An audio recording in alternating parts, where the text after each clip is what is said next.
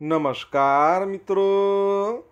હું રાજેશ ભાસ્કર, આપ સૌનું યુટ્યુબમાં આપણી આ ચેનલ પર સ્વાગત કરું છું.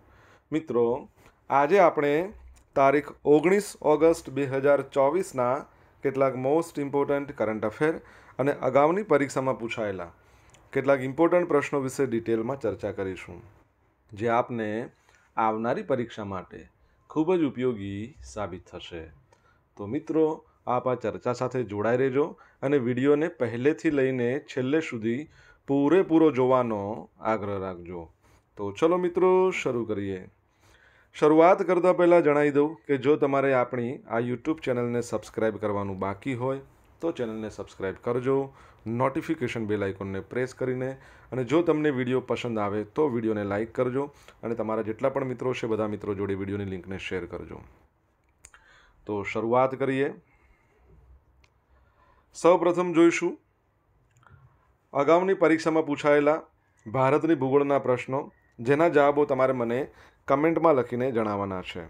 વિડીયોના લાસ્ટમાં, જ્યારે હું તમને આ દરેક પ્રશ્નના જવાબ જણાવું, ત્યારે તમારે ચેક કરવાનું છે કે તમે આપેલા પ્રશ્નોના જવાબમાંથી કેટલા પ્રશ્નોના જવાબ છે એ સાચા છે. અને જેટલા પણ પ્રશ્નોના જવાબ સાચા હોય, એ કેટલા સાચા પડ્યા છે એ પણ તમારે કમેન્ટમાં જણાવવાનું છે, જેમ કે દસમાંથી આટલા સાચા છે. દસ એટલા માટે કેમ કે ડેલી જીકે ટેસ્ટમાં આપણે રોજ દસ પ્રશ્નો પૂછીએ છીએ. જેમાંથી પાંચ પ્રશ્નો ભારતની ભૂગોળના હોય છે. બાકીના જે પાંચ પ્રશ્નો છે એ ભારતના ઇતિહાસના પ્રશ્નો હોય છે. તો તમે તમારો આન્સર આપો નીચે કમેન્ટ બોક્સમાં અને હું આજના કરંટ અફેરનો પ્રથમ પ્રશ્ન છે એની શરૂઆત કરું છું.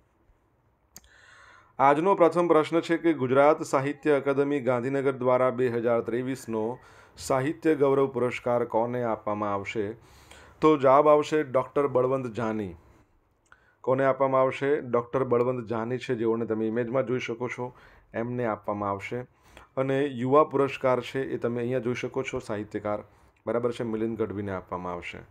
તો ગુજરાત સાહિત્ય અકાદમી ગાંધીનગર દ્વારા આપવામાં આવતા ગુજરાતી ભાષાના ગૌરવ પુરસ્કારો નિયત કરવા માટે ગુજરાતી સાહિત્ય અકાદમી એના જે અધ્યક્ષ છે ભાગ્યેશ ઝા એમની અધ્યક્ષતામાં ચૌદમી ઓગસ્ટના રોજ એક કાર્યવાહક સમિતિની બેઠક મળી, જેમાં સાહિત્ય ગૌરવ પુરસ્કાર અને યુવા ગૌરવ પુરસ્કાર એની ઘોષણા કરવામાં આવી. આ પુરસ્કારમાં બે હજાર ત્રેવીસનો સાહિત્ય ગૌરવ પુરસ્કાર ડૉક્ટર બળવંત જાની, યુવા ગૌરવ પુરસ્કાર વર્ષ બે હજાર ત્રેવીસ માટે મિલિંદ ગઢવીને મળશે. ગૌરવ પુરસ્કાર પ્રાપ્ત કરનાર સાહિત્યકારોને અભિનંદન પાઠવવામાં આવ્યા છે. ગુજરાત સાહિત્ય અકાદમી દ્વારા ટૂંક જ સમયમાં જાહેર સમારોહ યોજાઈને આ ગૌરવ પુરસ્કાર અર્પણ કરવામાં આવશે. બરાબર, સાહિત્ય અકાદમી, ગુજરાત સાહિત્ય અકાદમીની આપણે વાત કરીએ, તો તે ગાંધીનગર સેક્ટર સત્તરમાં આવેલી છે, જેના અધ્યક્ષ છે, એમનું નામ છે ભાગ્યેશ જહા તમારે જણાવવાનું છે એની સ્થાપના ક્યારે થઈ હતી, એટલે કે કયા વર્ષમાં તેની સ્થાપના કરવામાં આવી? જો તમને આન્સર આવડે તો કમેન્ટ બોક્સમાં લખજો. ત્યારબાદનો સેકન્ડ પ્રશ્ન છે કે વિશ્વ માનવતાવાદી દિવસ એની ઉજવણી ક્યારે કરવામાં આવે છે? તો જવાબ આવશે કે આજનો દિવસ એટલે કે ઓગણીસ ઓગસ્ટ છે, જેને વર્લ્ડ હ્યુમેટેરિયન ડે તરીકે ઉજવવામાં આવે છે. તો વિશ્વ માનવતાવાદીઓ છે એમના નોંધપાત્ર પ્રયાસોનું સન્માન કરવા માટે દર વર્ષે ઓગણીસ ઓગસ્ટના રોજ આ દિવસ મનાવવામાં આવે છે.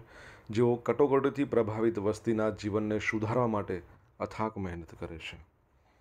વિશ્વ માનવતાવાદી દિવસ એ વ્યક્તિઓની અવિશ્વસનીય ભાવનાના પ્રમાણપત્ર તરીકે ઊભો છે જેઓ પડકારો, જોખમો હોવા છતાં જરૂરિયાતમંદોને તેનો અતૂટ સમર્થન આપે છે.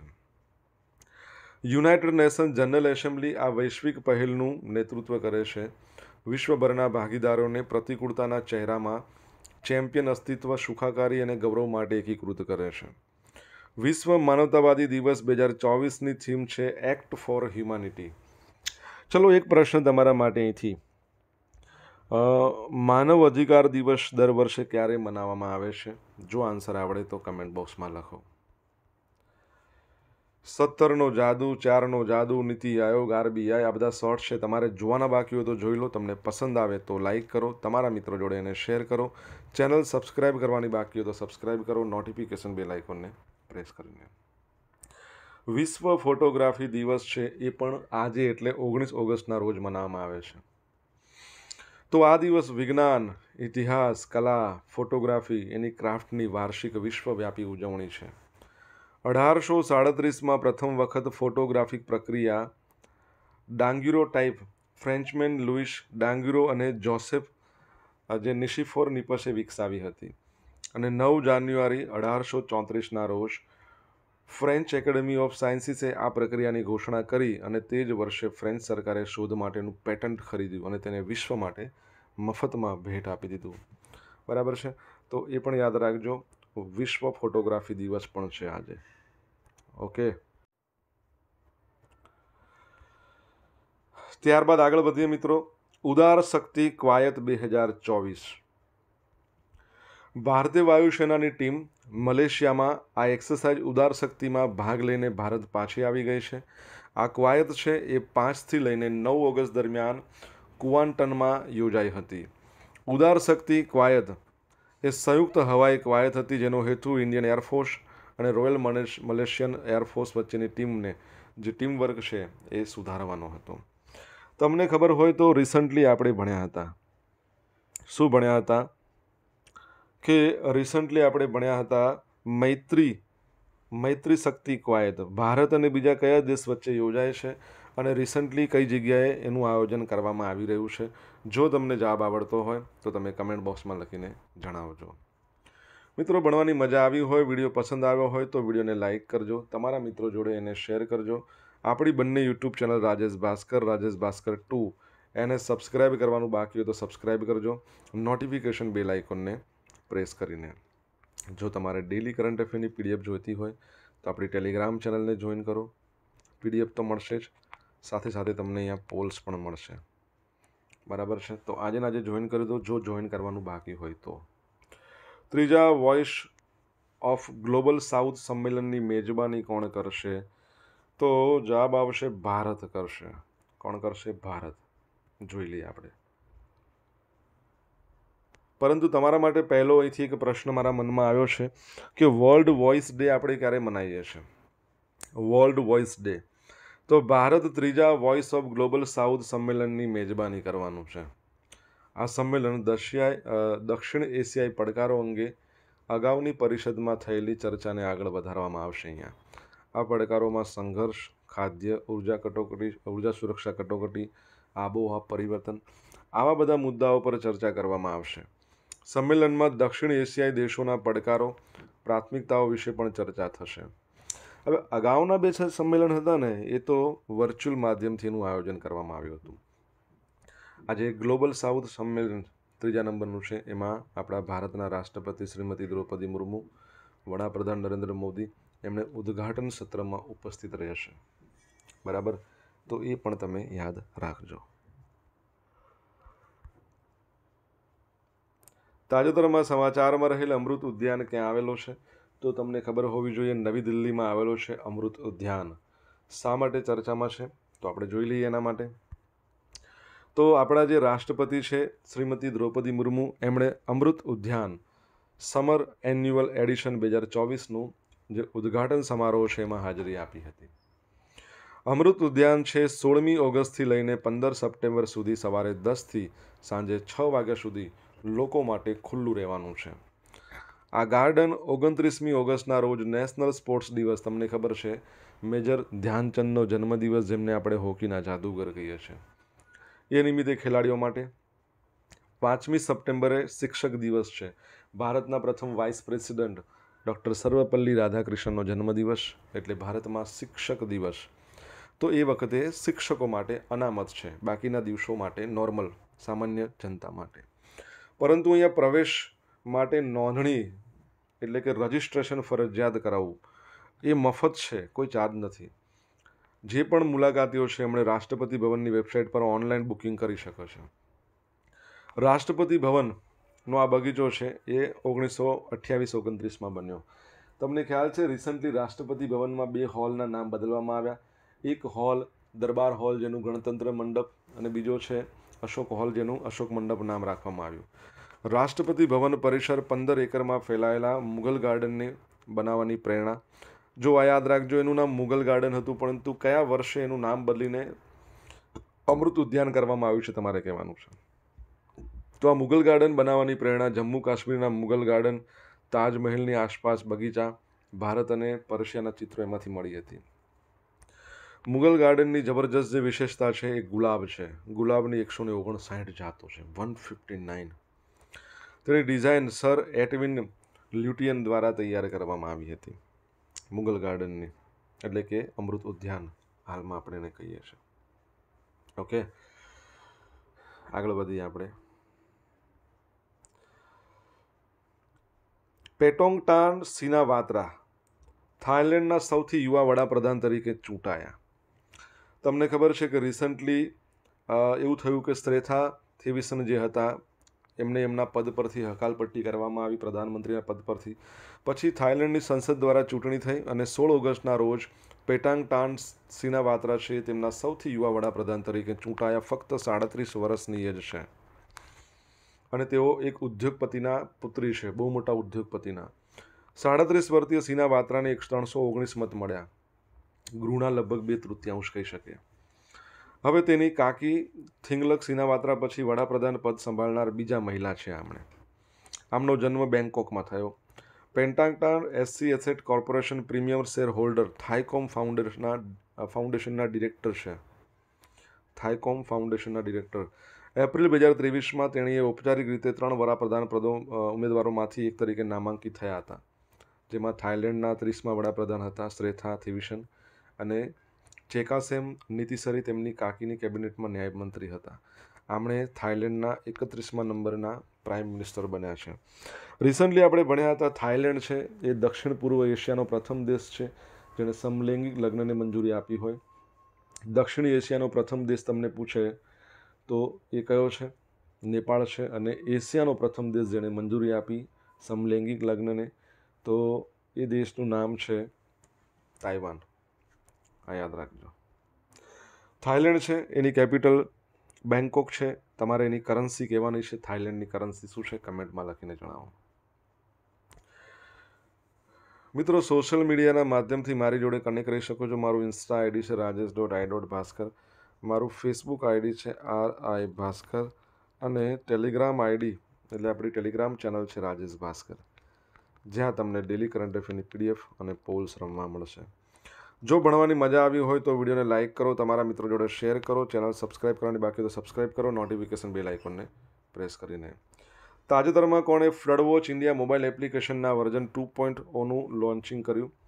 તો જવાબ આવશે શ્રી સી આર પાટીલ, જેઓ આપણા જલશક્તિ મંત્રાલયના મંત્રી છે. તો નવી દિલ્હીમાં કેન્દ્રીય જળપંચ દ્વારા વિકસાવવામાં આવેલ છે flood watch India. Mobile application, એનું બીજા નંબરનું વર્ઝન એમણે લોન્ચ કર્યું છે. સી ડબલ્યુ સી એ સત્તર ઓગસ્ટ બે હજાર ત્રેવીસના રોજ મોબાઈલ એપ્લિકેશનનું પ્રથમ સંસ્કરણ લોન્ચ કર્યું હતું. જેનો ઉદ્દેશ દેશમાં પૂરની પરિસ્થિતિ સાથે સંબંધિત માહિતી અને વાસ્તવિક સમયના આધારે સાત દિવસ સુધી પૂરની આગાહી એથી લોકો સુધી પહોંચાડવા માટે મોબાઈલ ફોનનો ઉપયોગ કરવાનો હતો. અગાઉના સંસ્કરણમાં બસો આગાહી મથકો પર પૂરની આગાહી અંગે માહિતી આપવામાં આવી હતી. એપ્લિકેશનનું વર્ઝન ટુ પોઈન્ટ વધારાના ત્રણસો ને બાણું પૂર નિરીક્ષણ જે સ્ટેશનો છે એની વર્તમાન માહિતી પૂરી પાડેલી ટોટલ તમે જુઓ તો ત્રણસો બાણું અત્યારના અને જૂના હતા એ બસો એટલે પાંચસો બાણું. સેન્ટ્રલ વોટર કમિશન દ્વારા ઇન હાઉસ વિકસાવવામાં આવેલી flood watch India satellite data analysis, mathematical modelling અને રિયલ ટાઈમ મોનિટરિંગ જેવી અત્યાધુનિક ટેકનોલોજીનો ઉપયોગ કરીને સચોટ અને સમયસર પૂરની માહિતી આપે છે. સેન્ટ્રલ વોટર કમિશન દ્વારા ઇન હાઉસ વિકસાવવામાં આવેલી flood watch India satellite data analysis, mathematical modelling અને રિયલ ટાઈમ મોનિટરિંગ જેવી અત્યાધુનિક ટેકનોલોજીનો ઉપયોગ કરે છે. હવે મિત્રો યુઝર ફ્રેન્ડલી એપ્લિકેશન છે બે ભાષામાં, અંગ્રેજી અને હિન્દીમાં. અને તે વાંચી શકાય તેવા ઓડિયો બ્રોડકાસ્ટ ફોર્મેટમાં પણ છે. તમારા માટે પ્રશ્ન, વિશ્વ જળ દિવસ આપણે ક્યારે મનાવીએ છીએ? જો તમને જવાબ આવડતો હોય તો તમે કમેન્ટ બોક્સમાં લખીને જણાવી શકો છો. પંચોતેર ગ્રેટ રિવોલ્યુશનરીઝ ઓફ ઇન્ડિયા આ નામના પુસ્તકનું વિમોચન કરવામાં આવ્યું છે રિસન્ટલી કોના દ્વારા? તો રાજ્યસભાના ઉપાધ્યક્ષ હરિવંશરાય હરિવંશ નારાયણસિંહ, એમણે નવી દિલ્હીમાં રાજ્યસભાના સાંસદ ભીમસિંહ દ્વારા પંચોતેર seventy five great revolutionaries of India નામના પુસ્તકના વિમોચન સમારોહમાં હાજરી આપી. આ લખ્યું છે ડૉક્ટર ભીમસિંહે, જે સાંસદ છે. પંચોતેર ક્રાંતિકારીઓ અને તેમની વાર્તાનો આમાં સમાવેશ થાય છે. તમારા માટે એક પ્રશ્ન છે, રાજ્યસભાના સભાપતિ હાલમાં કોણ છે? જો તમને જવાબ આવડે તો કમેન્ટ બોક્સમાં લખીને જણાવો. હવે જોઈશું અગાઉની પરીક્ષામાં પૂછાયેલા ભારતની ભૂગોળના પ્રશ્નો. પ્રથમ પ્રશ્ન વર્તમાન પત્રમાં વપરાતો કાગળ મધ્યપ્રદેશમાં ક્યાં બને છે તો નેપાનગરમાં. સેકન્ડ પ્રશ્ન, નીચેનામાંથી કયો પ્રદેશ પાંચ નદીઓનો પ્રદેશ કહેવાય છે તો પંજાબ. ભારતના પ્રમાણ પ્રમાણ સમય રેખા કે જે અલ્હાબાદ નજીકથી પસાર થાય છે, તેનો સમય ભારતના પ્રમાણ સમય માનવામાં આવે છે? બરાબર છે? કેટલો છે? તો બ્યાસી પોઈન્ટ પાંચ પૂર્વ રેખાંશ. ગોવા રાજ્યમાં કઈ ભાષા બોલાય? કોંકણી ભાષા. સીમાંત ખેડૂત ખેડાણ એના હેઠળ કેટલી જમીન ધરાવે છે? સીમાંત ખેડૂત ખેડાણ હેઠળ. તો એક હેક્ટરથી ઓછી. હવે મિત્રો જોઈશું અગાઉની પરીક્ષામાં પૂછાયેલા ભારતના ઇતિહાસના પ્રશ્નો. પહેલો પ્રશ્ન, પ્રાચીન સંસ્કૃતિ નીચેનામાંથી કયા તત્વથી અજાણ હતી? તો એલ્યુમિનિયમ. અલ્લાઉદ્દીન ખિલજી દ્વારા બાંધવામાં આવેલ દરવાજા નીચે પૈકી કોનો? દક્ષિણ બાજુએ મુખ્ય દરવાજો હતો. તો કુવાતુલ ઇસ્લામ મસ્જિદ. દિવાન આય કોહી એટલે કે કૃષિ વિભાગની રચના નીચેના પૈકી કોણે કરી હતી? તો મોહમ્મદ બિન તગલુકે નીચે દર્શાવેલ પ્રારંભિક ભારતીય શહેરો પૈકી કયા શહેરનો સંબંધિત સંબંધ બુદ્ધના જીવન સાથે ન હતો? તો શું આવશે? તો તમને ખબર છે કે પાટલીપુત્ર આવશે. શું આવશે? પાટલીપુત્ર. ઓકે. ત્યારબાદનો સવાલ સમય, ત્યારબાદનો પ્રશ્ન છે કે મહિલાઓને સંબંધિત બાબતોમાં રાહત આપવા માટે કયા સુલતાને સૌપ્રથમ વખત ફેમાઇન કોડ બનાવ્યો હતો? તો શું આવશે? મોહમ્મદ બિન તુગલકે ઓકે? હવે મિત્રો જોઈશું ગઈકાલે પૂછેલા પ્રશ્નનો જવાબ પહેલો પ્રશ્ન, પીએમ સર સૂર્યઘર યોજનાના અમલીકરણમાં સમગ્ર રાષ્ટ્રમાં ગુજરાત કેટલા ટકાના યોગદાન સાથે નંબર વન પર છે તો બાવન ટકા. તાજેતરમાં ઈડી એટલે કે એન્ફોર્સમેન્ટ ડિરેક્ટોરેટના ડાયરેક્ટર તરીકે કોની નિમણૂક થઈ? રાહુલ નવીન. અને યાદ રાખજો, ઈડી છે ને, એ નાણાં મંત્રાલય અંતર્ગત કામ કરે. હવે આજે જે પ્રશ્ન પૂછ્યા છે એના જવાબ જોઈ લઈએ. પહેલો પ્રશ્ન એવો પૂછવામાં આવ્યો હતો, સાહિત્ય અકાદમી છે, ગુજરાત સાહિત્ય અકાદમી ગાંધીનગરમાં આવેલી એની સ્થાપના ક્યારે થઈ? તો ચોવીસમી સપ્ટેમ્બર ઓગણીસો ને એક્યાસીના રોજ. સેકન્ડ પ્રશ્ન, વિશ્વ માનવ અધિકાર દિવસ ક્યારે મનાવવામાં આવે છે? તો દસમી ડિસેમ્બરના રોજ. ત્રીજો પ્રશ્ન, મૈત્રી શક્તિ કવાયત ભારત અને કયા દેશ જોડે થાય? શ્રીલંકા. યાદ રાખજો, મૈત્રી શક્તિ. મૈત્રી પૂછે તો થાઈલેન્ડ શક્તિ પૂછે, તો એ આવશે ફ્રાન્સ. પરંતુ મૈત્રી શક્તિ પૂછે તો શ્રીલંકા. ચોથો પ્રશ્ન. વર્લ્ડ વોઇસ ડે આપણે ક્યારે મનાવીએ છીએ? સોળમી એપ્રિલે, દર વર્ષે. પાંચમો પ્રશ્ન. મુગલ ગાર્ડનનું નામ બદલીને અમૃત ઉદ્યાન કયા વર્ષમાં કરવામાં આવ્યું બે હજાર ત્રેવીસમાં? છઠ્ઠો પ્રશ્ન. છઠ્ઠો પ્રશ્ન એ હતો કે થાઈલેન્ડ છે એની કરન્સી કઈ છે? તો થાઈ બહત. સાતમો પ્રશ્ન. વિશ્વ જળ દિવસ, વર્લ્ડ વોટર ડે, દર વર્ષે ક્યારે મનાવવામાં આવે છે? બાવીસમી માર્ચના રોજ. આઠમો પ્રશ્ન હતું રાજ્યસભાના સભાપતિ હાલમાં કોણ છે? તો જગદીપ ધનખડ છે. એટલે આપણા વાઇસ પ્રેસિડેન્ટ, હંમેશા વાઇસ પ્રેસિડેન્ટ હોય એ રાજ્યસભાના સભાપતિ હોય. તેઓ ચૌદમા નંબરના છે આપણા. વાઇસ પ્રેસિડેન્ટ યાદ રાખજો અને રાજસ્થાનથી બિલોંગ કરે છે. બરાબર છે? ખાસ યાદ રાખજો. હવે જોઈશું, ગઈકાલના કરંટ અફેરમાંથી પૂછેલા કેટલાક ઇમ્પોર્ટન્ટ પ્રશ્નો, જેના જવાબો તમારે મને કમેન્ટમાં લખવાના છે. પહેલો પ્રશ્ન, તાજેતરમાં કોને તેની બ્રાન્ડ ગરવી ગુજરી માટે ભારત સરકાર તરફથી ટ્રેડમાર્ક પ્રમાણપત્ર આપવામાં આવ્યું છે? જો મિત્રો તમને જવાબ આવડતો હોય તો તમારે કમેન્ટ બોક્સમાં લખીને જણાવવાનો છે.